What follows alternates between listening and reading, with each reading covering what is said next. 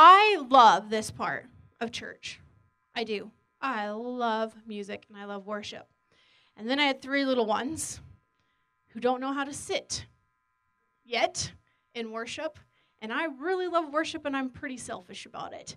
And when they distract me, I get pretty tense. I give the death glare, I'm getting upset. And last week, they were just kind of distracting. Not only were they distracting, but these thoughts just kept flooding through things that I can't do anything about.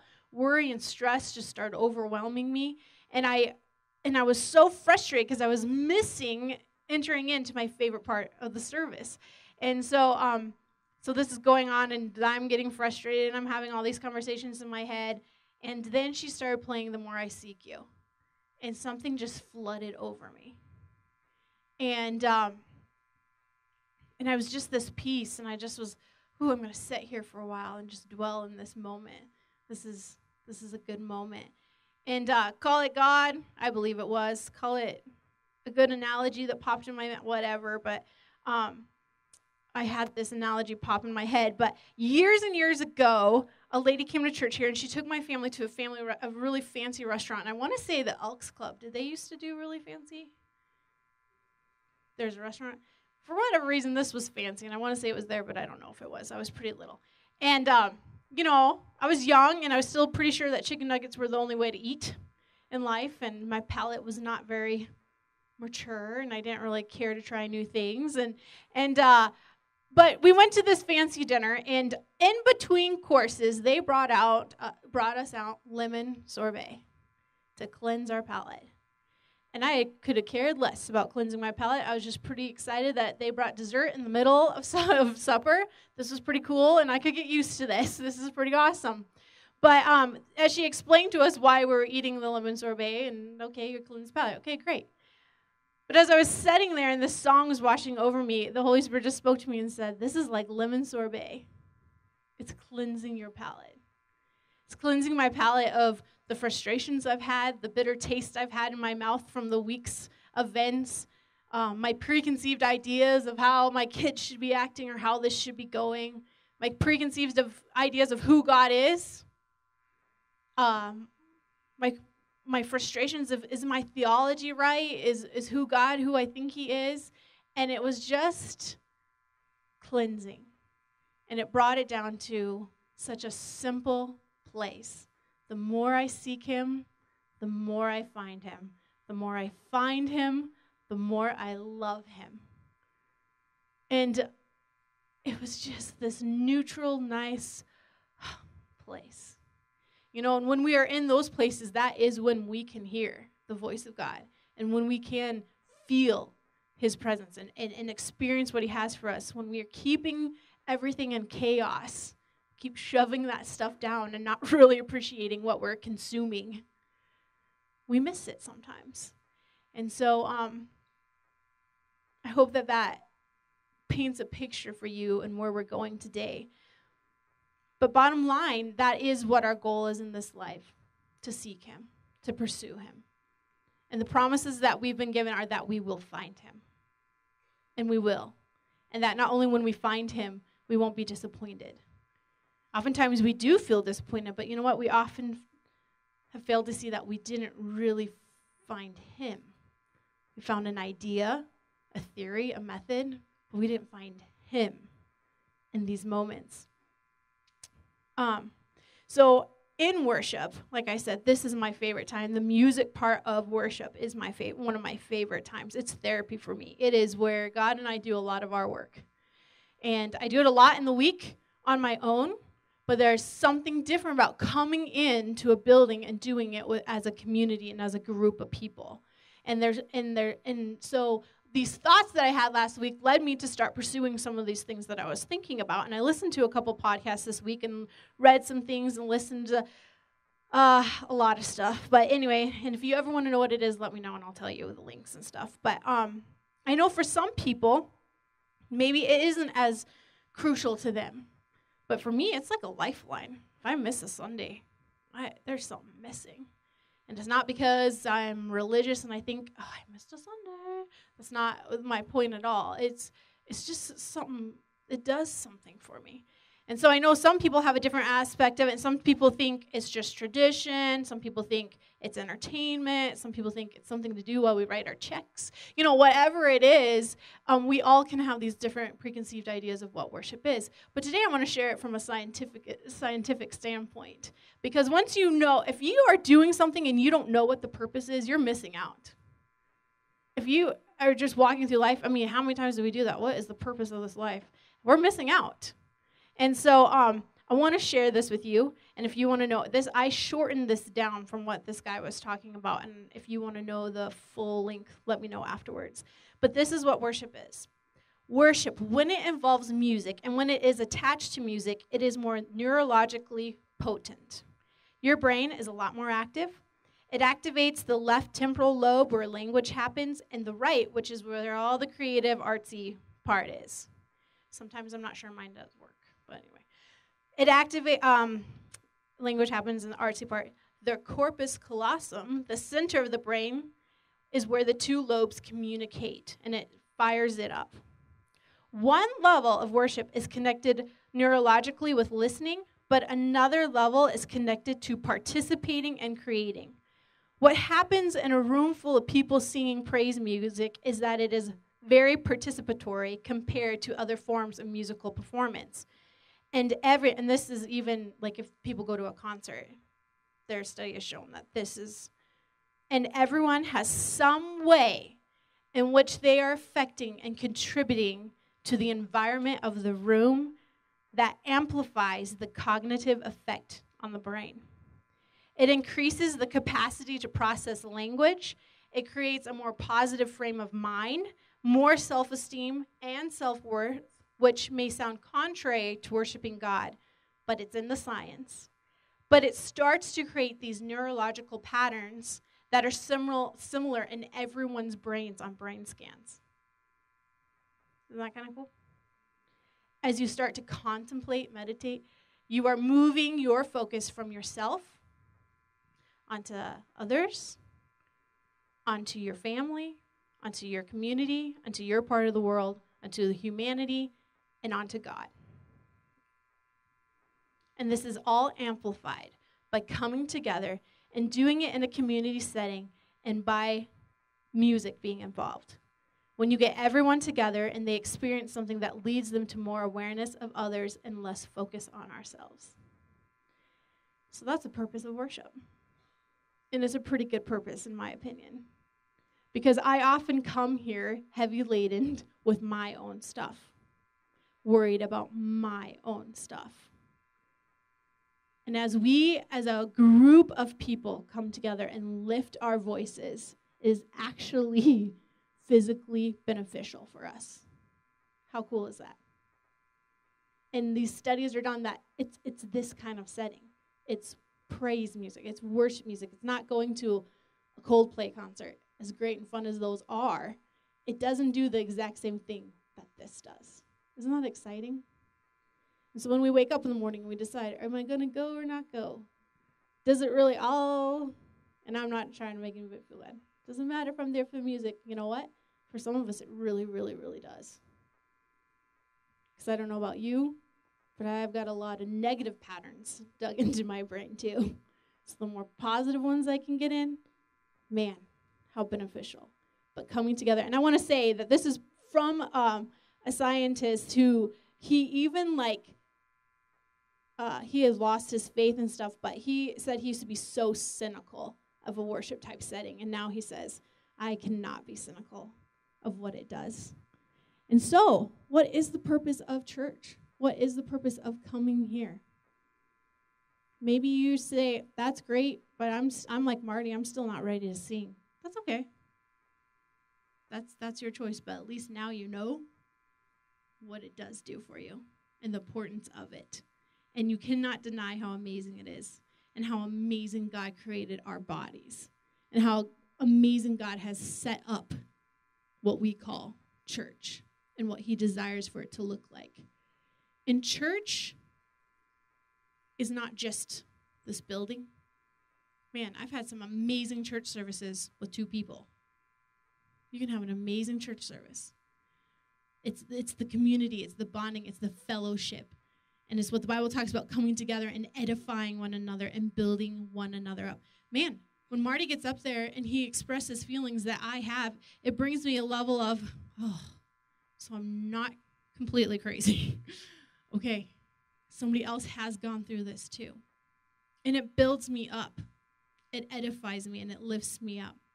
So, through the course of this week and things I've been studying and conversations that I've had with people, and really asking what is the purpose of this and are we doing it correctly and what is it supposed to look like? And you know i'm open to, to correction in all those areas but my own personal conclusion has come to this. Yes this is really important.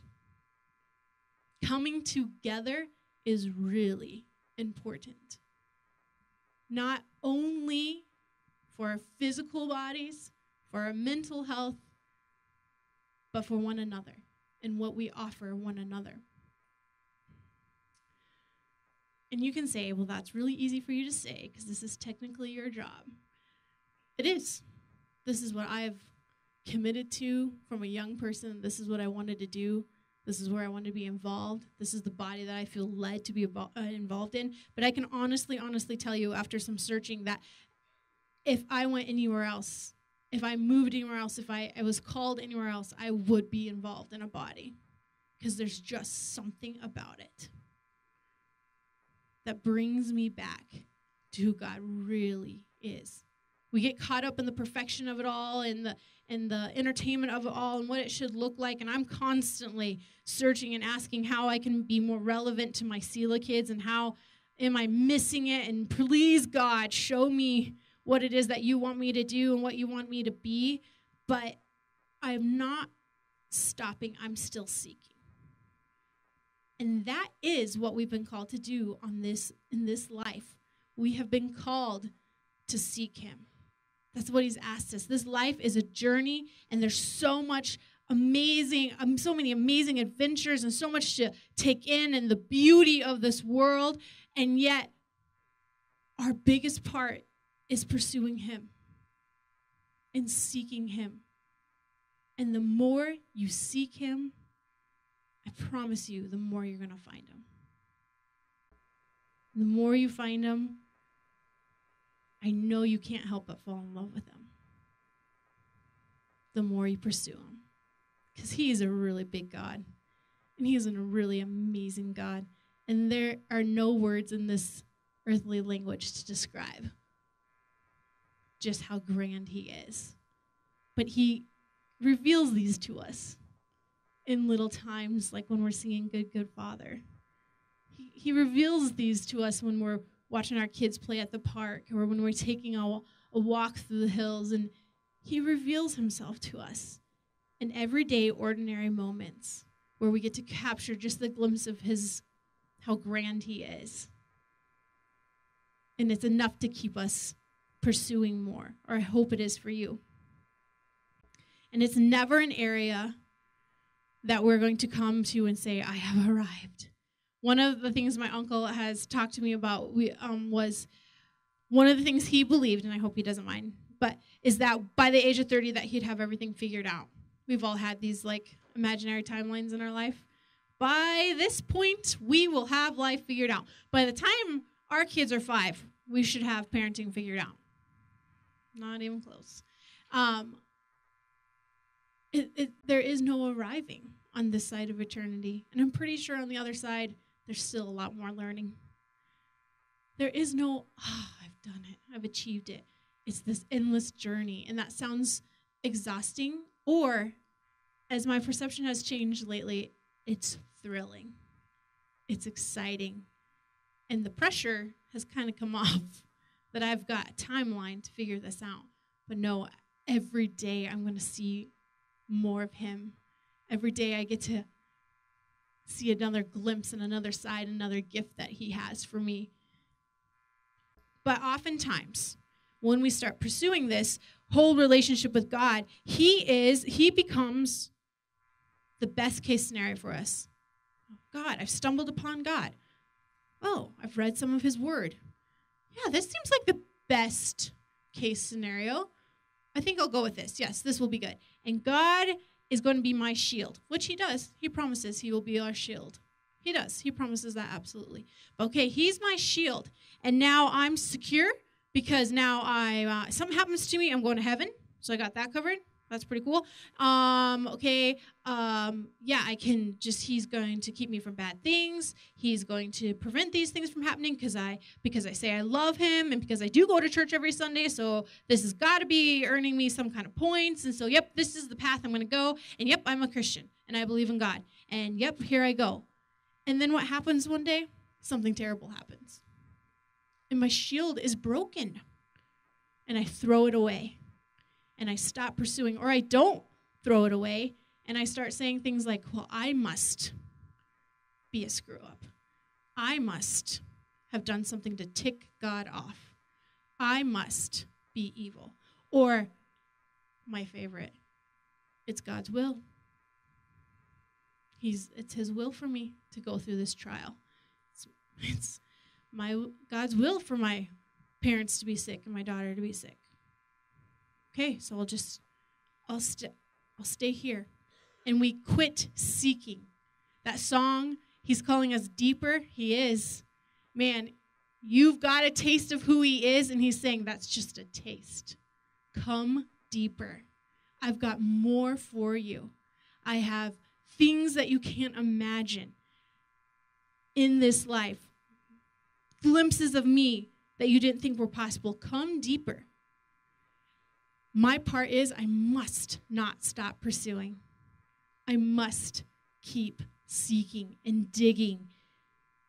And when I have those moments of revelation, may I hold on to them. May I let them encompass me and bring the comfort that they need. And may I go, okay, there's even more. That felt really good and that was really exciting. And there's even more that He has for me. But oftentimes, our perception of who God is will keep us from going any deeper. For me, um, I'm grateful for how I was brought up and the education I had. I have this personality, though. Uh, Jen and I talk about it. We think it's a middle child thing. We don't always love getting in trouble, it's not our favorite thing. And so, oftentimes, for me personally, I made assumptions. If I said this or asked this or did this, that's gonna get me in trouble. So I just won't. So there's a lot of times in my education and my upbringing that some uh, uh, a theory would be presented to me or something would come across in my education, and I go, I don't know what that means, and I'm just gonna turn off my brain. And I did over and over. I did not go to anyone. Why did I not go to anyone to say this doesn't make sense to me? I would have been a far better student. But um, okay, that doesn't make sense to me. I'm shutting off the brain. I'll just go in cruise control. And oftentimes in our life, that's what we do when we hit troubled waters. We go on cruise control and we just say, okay, well, God wants this for me. I'll, let's, let's go. I'll just ride it out. And I'm not saying that because you know more of God, evil things are going to stop happening. No, but when you, man, when you're going through those evil things and you have God with you, there's nothing better. But oftentimes, what we do is we limit ourselves and we say, I'm not smart enough to figure out the Word of God. What if I get it wrong? What if I read the Word of God and I interpret it wrong? Okay, some of the things that are being presented here at our church, I'm not understanding. And instead of maybe pursuing and going a little deeper, we go on cruise control. And we go, I don't, I don't know what that means, but I'm just going to ignore it. I'm going to put it aside. I'm not going to question it. I don't want to question anyone. I don't want to get in trouble. I don't want to doubt anyone. I don't want to get in trouble. And we go in cruise control when God is so much bigger than that. And He's saying, No, come on. Get in there. Find out who I am. And you have a question, ask. If you're weak in an area, go research, go search it out, go find out. If you find an answer that you're not sure what it means, don't stop. Keep going don't go on cruise control. Richard Rohr says it this way When looking for God, we often see what we are ready to see, expect to see, and even desire to see. So it is a change of perception that oftentimes needs to happen. Oftentimes, how many times have we heard it and we've seen it? Anybody can pick up this Bible and interpret it according to their agenda. We've seen it time and time again. So I try to explain to people I love Jesus more than the next I mean just as much as the next person, but when a pedophile comes and justifies his whole life because of the Bible, okay? They don't know who Jesus is. They haven't discovered who he really is. They've taken a piece of what has been written about him and they've perverted it and they've twisted it to fit their agenda. And so that is intimidating. For me, that has been, man, I do not want to misinterpret who God is. I need to have the right perspective of who God is. We talk about it here all the time from heart level of who God is and how things have been distorted in our lives like that. So those are issues that we need to to to deal with. But can I just say you are able to interpret the word of God the way he'd want you to interpret it? and you're going to hit some roadblocks and you're going to hit your head against a few walls going i don't know but you you're able to the holy spirit is a wonderful gift and he can when you are open to allowing him to speak to you he can reveal things to you in the way they were intended to be revealed to you and the way they were written the way god wanted them to be to you you know every time i get up here i seriously you can ask my husband every time Every time I'm asked to get up here, I have to physically fight being nauseous the whole time. And I was actually telling my little boy today, I said, Will you pray for mom? I got to preach today and I just, I need some prayer. And he goes, Are you telling me that you're an adult and you're still scared to get on stage? And I was like, Yes, I am. Gonna own that one. I am. And on and I asked him to pray, and he was kind of looking at me like I was weird, and he walked away. And I was like, okay, whatever. And on the way here, spontaneously, he just goes, Jesus, I just ask that you help my mom. She's got to speak today on stage, and I just pray that she's not scared. Ah, cry in my eyes on, on the way here. but why? Because I do not claim that I have it all together. Man, a few weeks ago, I got up here and spoke something about, um, I don't remember what it was, but it was something God was revealing in my life. And, and, and and working with me in my own life. And I got up and shared it. And I got down, and the next day my dad came over and I was bawling. I said, I feel like a fraud. I feel like an absolute fraud. Because God's working with me on that, but I am not doing that in my life. I know that that's what He wants from me, and yet I have not let go of the control and the fear and all these things that so easily entangle us I feel like a fraud. So when I get up here, my, my heart is that I don't offend anyone. And my heart is that I do encourage you and edify you and build you up. And my heart is that I lead you to a way to pursue Him more on your own. And may I not be a stumbling block for you. But you know what? I don't have it all together. So I get real nervous coming up here. And you can ask my husband all day long I will be self analyzing myself and going, oh, I just want to hide for the rest of the day. But as my dear friend told me this week, as we were talking about a similar subject, is God not big enough? Is he not the restorer? Is he not the reconciler? Is he not big enough in my life and in your life to correct when things need to be corrected? To reveal when things need to be revealed? And yes, it's a process and it doesn't always happen overnight. And some of these things that we get stumbled upon do create complete heartache. I do not take this lightly because I know people have used the pulpit and have hurt other people. I do not take it lightly. But is God not big enough for you? For you to go home and, like Marty said, I love it. That is the desire and the hope that when you go out this week you ponder the things that god has spoken here today or or the or the songs that were played that that minister to your soul your soul that you go home and you don't go that was a nice sunday service. Now let's all go eat and we'll go on on our week. May you go home and think about it and question it and doubt it and go research it for yourself and find out what he's saying to you. Is he not big enough? Yeah He's big enough. He's big enough in my life and he's big enough in your life to do those things. So when we approach our time with him in meditation and in his in his word, rather than approach it from an overwhelming feeling as I have so many times, I'm not worthy, I'm not smart enough, I could miss it. How many times have I gone and I read the Bible and I go, I don't know what you're saying there. And I don't want to get it wrong. But is he not big enough to bring correction when I need it corrected? And may we approach it like this I'm seeking, and I will keep on seeking. And the more I seek him, the more I'm going to find him. And I know the more I find him, the more I'm going to love him.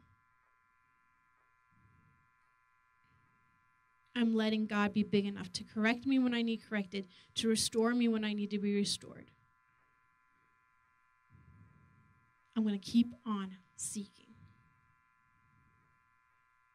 In Luke 11, 9, it says, So I say to you, ask and it will be given to you, seek and you will find, knock and the door will be open for you. I'm going to keep on knocking, and he's going to keep on opening that door, inviting me to come dine with him and keep fellowship with him and have truth be revealed to me. Man, I love that song. Here's my heart. Speak truth. So what is what is the purpose of music? What is the purpose of church? Oh, man, to come together and go, I don't have it all together. You may be farther along than me, but you don't probably have it all together. But we're going to lift up our voices, and together as a community, we're going to say, We're seeking, we're pursuing. We want more of Him in our lives. We want to be more of Him on this earth. He boils down to love. May I be love in this earth. May I be who He's asked me to be. May the lies that I've held on to so long, may I find the courage to finally let them go. And we do it as a body. And the Bible talks about how there's we're one body, but there's so many different talents and gifts and and, and people are prophets and preachers and teachers and all those things. And it's so true. You look at any you look at any organization and that's it. It's pieces of people that are doing their part in their gift. And when we come together we're just you go i'm just sitting here just enjoying but you're bringing a part your part affects the atmosphere in this room the person to your left and to your right that you might have a little bit of an issue with their part affects the atmosphere of this room. And when we can come and pursue it as this is just another way, another tool to help me on my journey in seeking Him, to go home and think about what Marty said. How, what a gift to have a community and a place where you can do that. So, is there a purpose? I believe so. I believe there's a purpose to come together and encourage one another and tell each other, don't quit. and I really encourage you that if you come to something that you just theologically can't pan out, or man, in your heart you can't figure out, or whatever it is, and you go, I'm struggling with this, I encourage you to not stop. Ask questions. Read things that you normally wouldn't read go back in the word and read it again and again. And uh, man, I can read one verse, and depending on the day, it can mean four different things to me. But I encourage you to not stop. I heard a man tell this story once. He was um he has an amazing story, but he was always involved in church, grew up in the church, and um, loved God, was really talented in ministry and stuff. But he began doubting and wondering, and um, like how I explained earlier, he said he he didn't know what he believed about God anymore, and he didn't know what all it meant, and did he have it all right? And he felt like a fraud because he kept going to church. He, honestly said everything in me was probably so in dis- disagreement with what the church was doing. Why why do I keep going? But he said deep inside he knew that it served some purpose, so he did not quit and he did not stop seeking. And it was a journey for him, and he went through a lot of hurt and a lot of pain. But you know what? He found God. Not the God of his childhood with rules and regulations and misconceived ideas and theologies that weren't accurate, but he found God. So I encourage you when you're seeking, keep on seeking. My grandpa always says, keep on keeping on, keep going. But you know what we do need to do? Is to give up the expectation that we have to know it all right now, that we have to have it right right now, that I have to be good enough to seek and study and spend time. Nope, we just have to keep on seeking. We have to just keep on going. And I do believe that this thing that was set up thousands of years ago, the church, does serve a purpose for you. And it serves a purpose for the person on your left and on the right. And when you come and you just say, Yeah, that was a bad week. Do you know what that does to someone sometimes? I'm not alone. Not alone. You can be in a room full of people and feel really, really lonely. But may we as a body rise up to encourage one another, not hold back in fear or, man, I, I just, I have my, this little group and that's all I need. No, God, who are you asking me to love today? Who in here needs a word of encouragement? And as we do it, may we stand up with one voice and get some neurological patterns going in our brain that's physically beneficial for us. So don't stop seeking. There is a point, it is thrilling. You are able, and it is worth it completely. So, will you just stand with me today?